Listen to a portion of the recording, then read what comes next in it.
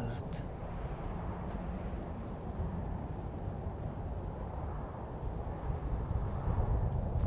Kalia, almost dead.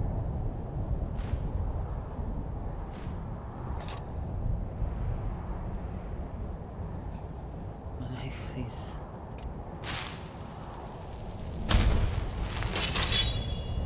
is really strange and it's really dangerous for people, for for my friends.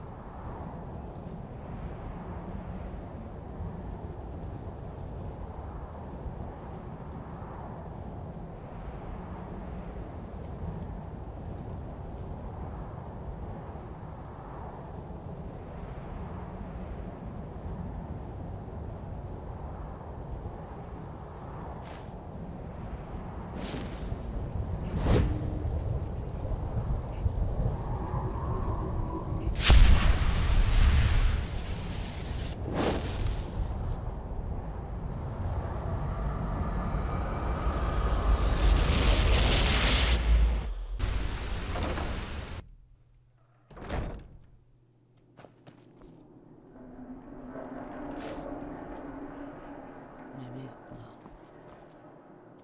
I'll move it all.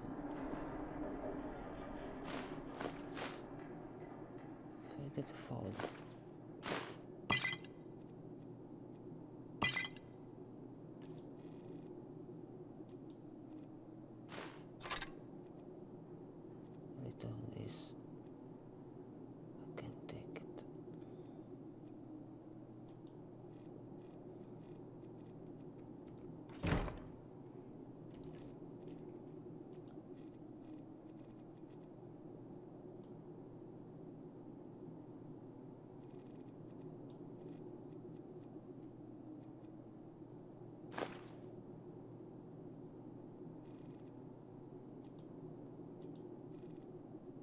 the death. Unleash the fury.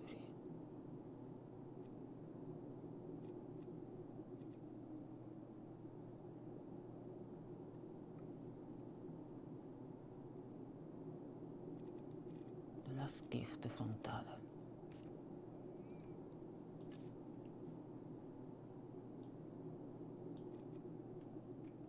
This 90 entropy damage to enemies in front of you and pushes them back. Thanks, Talon.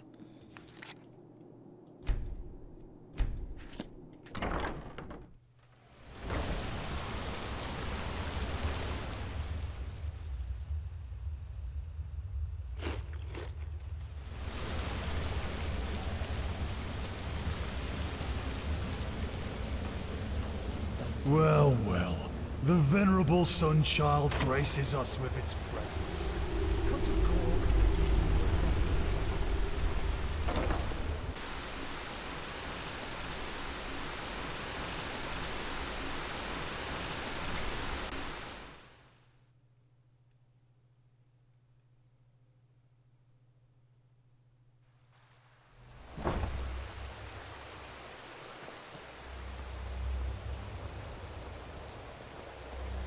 Now, last step.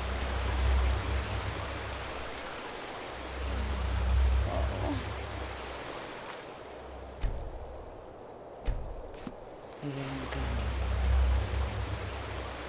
I came from the darkness and the shadow.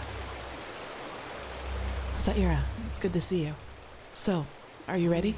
The Grandmaster said by tonight Sharim should have deciphered the old maps. I'm ready. Alright then, let's wait until nightfall. Go on ahead, I'll follow.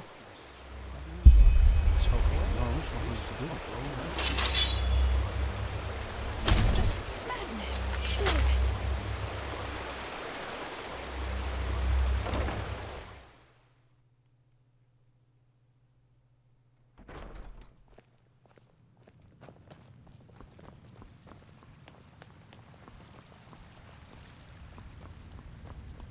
Prophetess, there's good news. We were able to decipher the Starling's maps, and we now know where to find the City of a Thousand Floods. Where? Sharon was just about to explain. Sharon? Yes. I suppose you already know that Vyn hasn't always been like it is now. In the time of the Pyreans, it was one big continent, which they called Pangora. Only the Starfall, in the era of Azateron's madness, split it apart. In other words, the Pyreans dominated the entire world as it was back then. It was a world empire. However, until recently, we always thought that the Empire's capital, the City of a Thousand Floods, was situated somewhere near where Kira is today. We were wrong about that. It was here, in Enderal. Here? Here, beneath our feet, to be precise. Under Ark? Oh. Yes. We don't know whether it was a coincidence that Malphas's vassals set the foundation of Ark here, out of all the places they could have. But they did. The heart of the Pyrean Empire was here, right where we stand. Only it's buried now. But There were expedition to the tunnels. How come no one ever found it? Hardly. Sadly, the Order never cared much for archaeology. We considered it a useless endeavor. And even if there had been private undertakings, the dangers such an expedition posed, let alone its costs, would have scared off most investors. But still, you're right.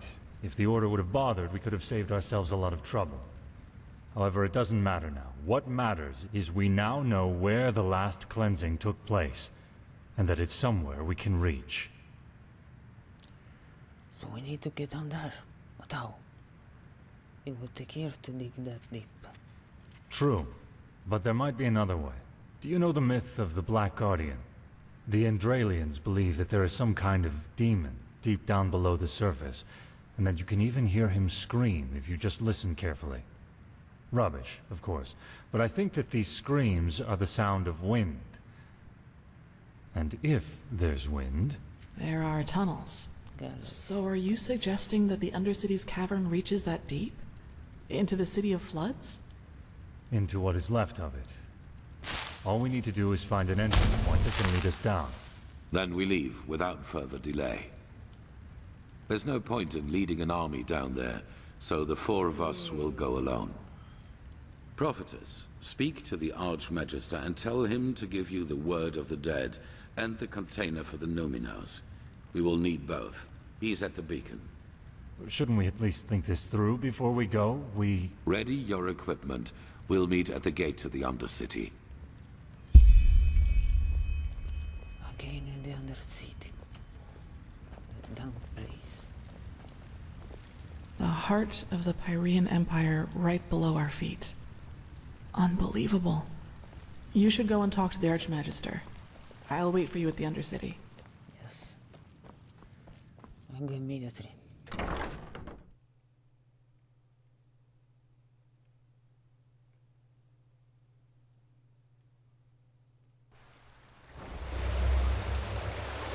to finish. Prophetess. Hello.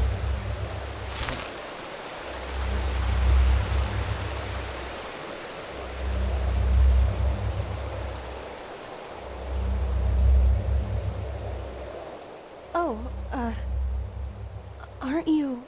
Uh, never mind.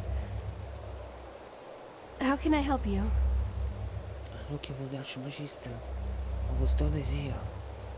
Uh, he was. But he went to get something. Why don't you wait until he comes back? I. Uh. I have to admit that it's a great honor to finally meet you in person. You know, when all this started, when the Grand Master exalted you, I thought it was a sin. Granting an Outlander what we have to fight so hard for. But now. Phew! I think Malphas, or whoever sent you, that he did. We owe you a lot. Really. Thank you. Oh, don't thank me. Say. May I ask you something? What? It. The beacon.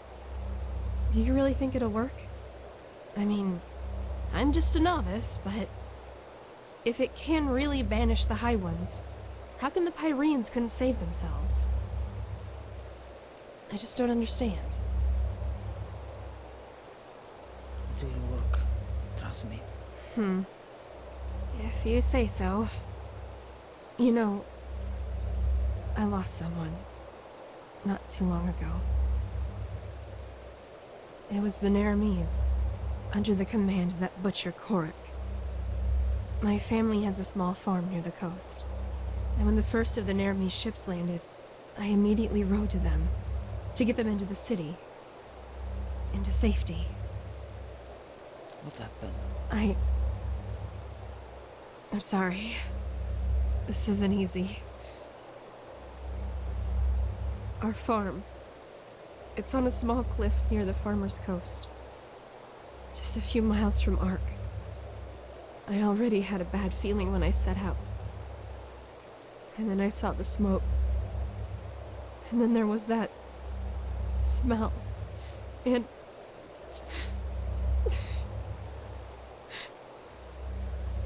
What's the matter? The smell of burnt meat. It was everywhere. I rode faster and faster, and then when I got to the house, I saw that it was on fire, and that someone had put up three crosses, and they were burning too. Three crosses. My mother, my father, and my sister, they. They were still alive, you know?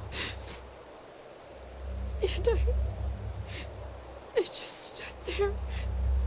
And there was nothing I could do. Do you understand? Nothing. And it doesn't matter how I try to look at it. It all amounts to one thing. I was too weak. I was too late, and I was too weak. That wouldn't have happened to you, would it? You would have done something. You would have saved them. Just as you'll save us. If I could just be more like you, then I. Your flesh. Yes, that's it. All I need is a piece of your flesh. And nothing like that will ever happen again. Stay where you are. But why? Is that so hard to understand? I don't want much, just a small piece of it. But you just don't want to share, isn't that it? You want it all for yourself. Because you're vain. And in all your damn vanity, you don't even see the futility of the whole thing. The beacon won't burn. It never will. Thousands have tried it before you. Thousands who are as arrogant as you are. And they all failed. How did they say? Just let yourself fall. Because the light will burn. It will devour you until there's nothing left of you. Nothing but burnt flesh. Nice and crisp. You're familiar with that, aren't you? Prophetess.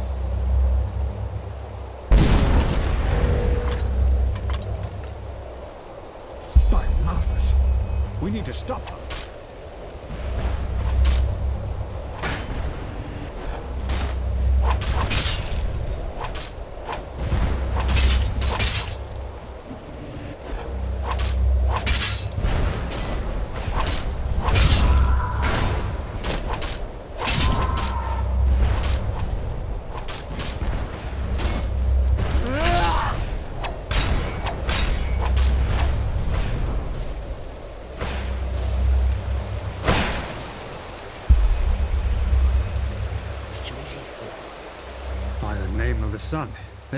They were possessed.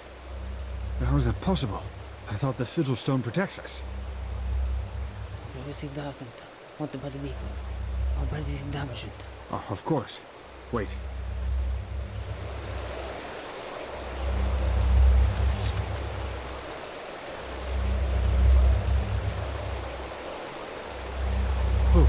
The damage is within acceptable limits.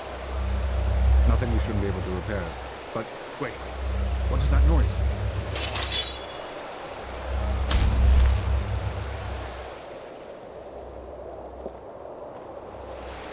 Oh, by the righteous path. I think you should see this.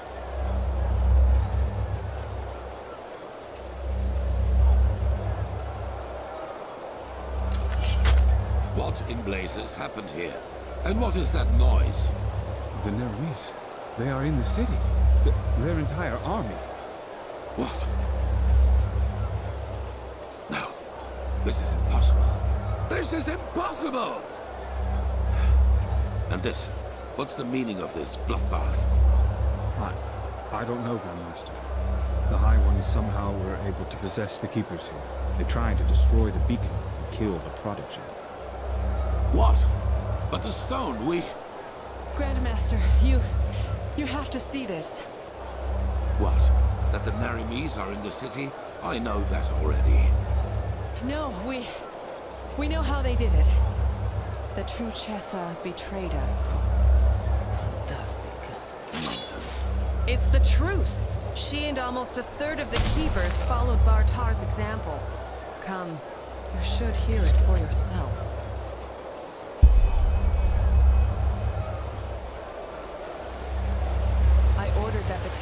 Gates be closed right away. At least for now, none of these Nehrimese bastards will enter the temple. Well done.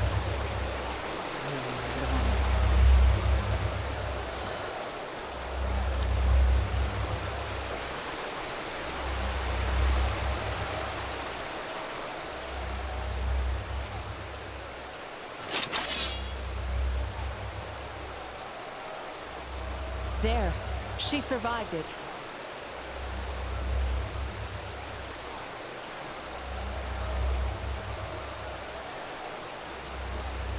Open your eyes, traitor. What? Ah, oh, hi, Grandmaster. You... I am so sorry. It shouldn't have happened like that. Oh, my Malphas. What have I done? Tell us what happened. Of course, Grandmaster. I will. The Trichessa. She... She contacted Korak and asked for... Relax. She's bleeding to death, Grandmaster. We need to get her into the curarium. We will, once we're done. Continue. The Trichessa arranged a meeting with Korik. What did she want from him? A truce. She offered him the city. If he would promise not to harm anyone. She had this... this stone. You know, this sigil stone that protects us keepers from the High Ones. Thorak. He agreed. Once the gates were open, he... killed everyone. Yes, the Trichessa. He just... Even though she kept her end of the bargain. Then they swarmed into the city and... Oh, but Malphas, I... I am so sorry. I am so sorry. Take her to the Curarium. Yes, yes, of course, Grandmaster. Nerum, Yetta, bring me a stretcher. Wait. You... You have to forgive me. I mean, I... We only wanted the best. You have to believe me. Please don't let me die as a pathless. I... Please. I forgive you. Now go. Yes. Yes, of course, Grandmaster.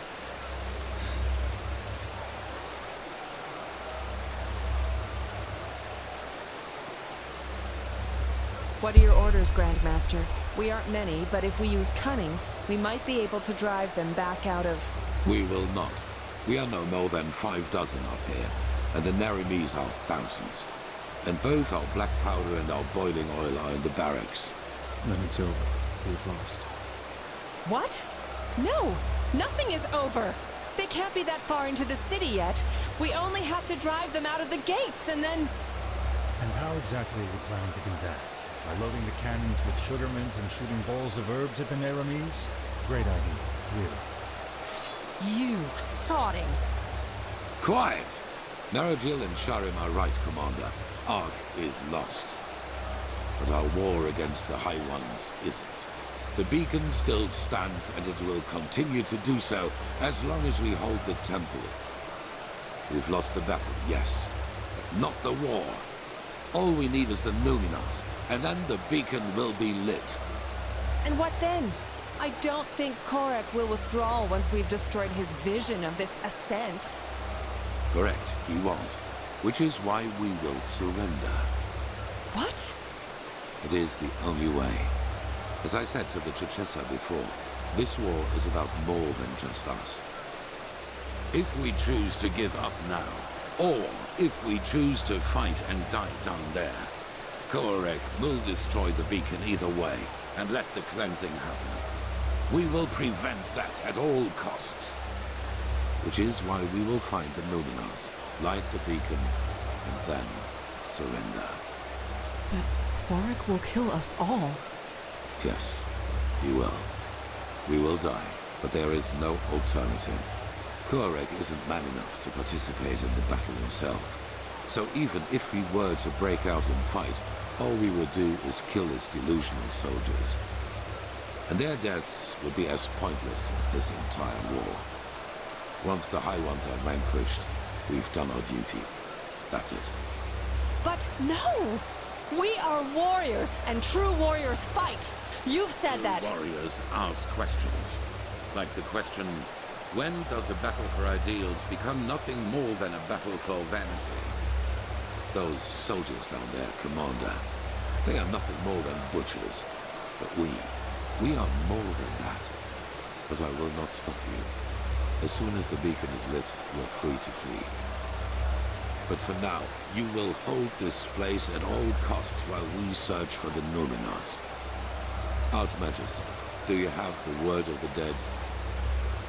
I do, yes. How do you plan to get into the Undercity from here? The entire city is swarming with Korax's soldiers. Leave that to me. Commander Aaron, gather the remaining Keepers and Arcanists. I will address them.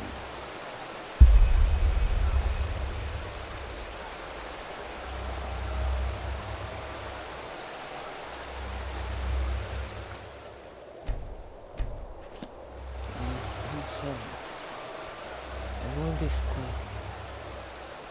Saving this world and then die.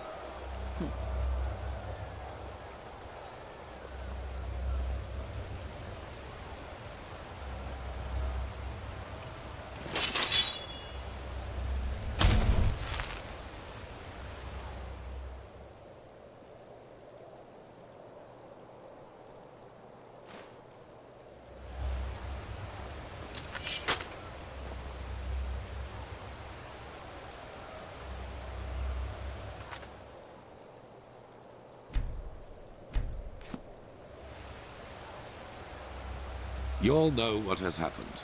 We were betrayed by our own brothers and sisters. As we speak, people are dying, slaughtered by the Nehrimese, who think we are their enemy. And I know what you are feeling right now. Anger. Anger aimed at those in our ranks who did this to us.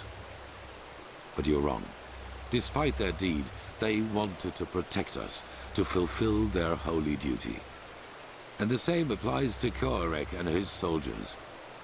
Yes, they are deluded. Yes, they have committed crimes past redemption, but they, too, only did what they thought was right. If there is someone to blame in all this, it's the High Ones, and no one else. They, brothers and sisters, they are the ones responsible. They have no mind, no compassion, no soul, and their only reason for existing is to destroy. They are cowards who act out of the shadows and play us against each other like puppets on strings. And right now, they think they have won. They think they can defeat us. But they will fail. Because we are still here. We have the beacon, the only thing capable of stopping all this madness, and that is exactly what we're going to do. After that, you are free to go. Flee, fight, do whatever you think is best. I myself will surrender, because every drop of blood spilled after we have done our duty and destroyed the High Ones is useless. And even if the Nehrimese kill me, my death will be a sign. A sign that people like Koarek will never understand. Hatred breeds hatred. This is what history has taught us. And this is what makes the High Ones strong. Stand by me when the time comes, or go. But until then, fight.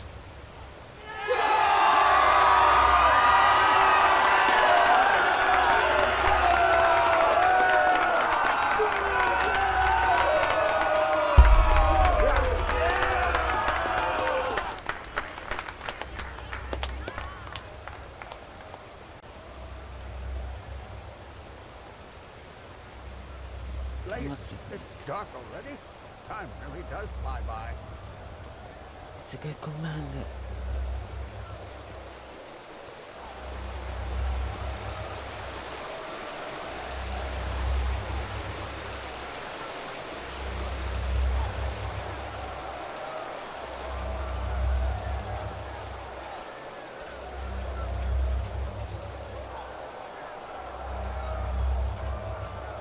Yes?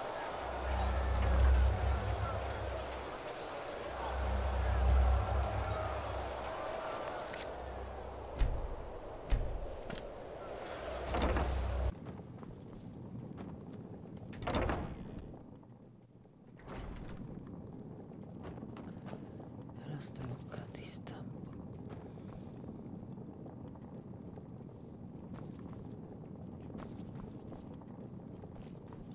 Maps, books.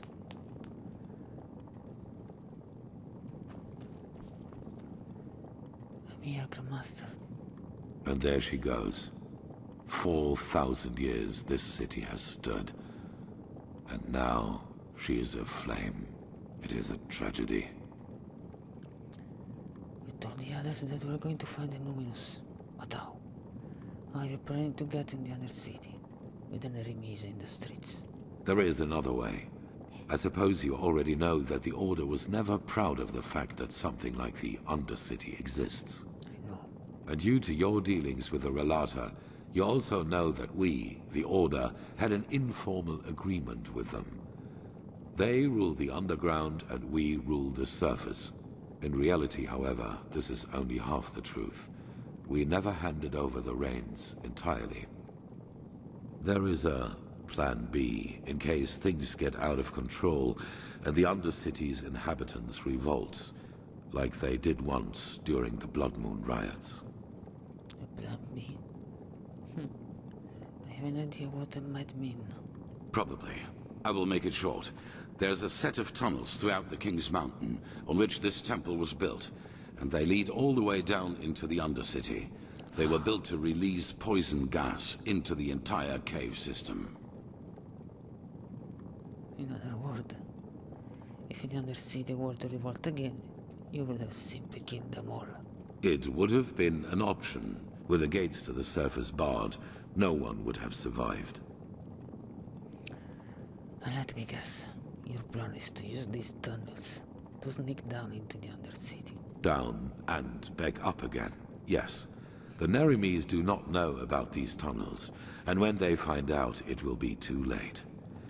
We descend, we find the Numinos in the City of Floods, and we light the beacon. After that, you know what I will do. There is a way into the tunnels through the dungeons of this temple. Meet me and Sharim there once you're ready to depart. And bring your beloved with you. Prepare yourself. We will meet in the dungeon.